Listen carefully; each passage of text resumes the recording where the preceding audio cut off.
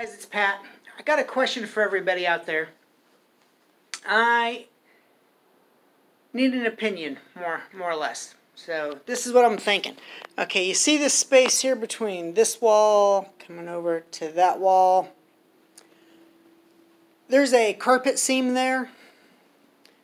I don't know if you can see it in the video or not. But there's a carpet seam that runs in between those two. And when you lay carpet, you got to put seams occasionally, especially over big spanses like that. But the thing is, it's bothering me because I know it's there.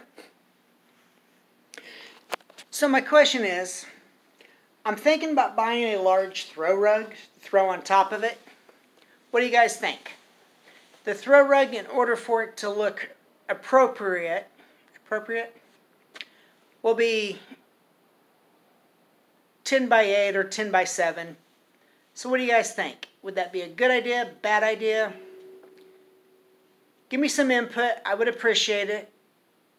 And until then, be safe out there. Bye-bye.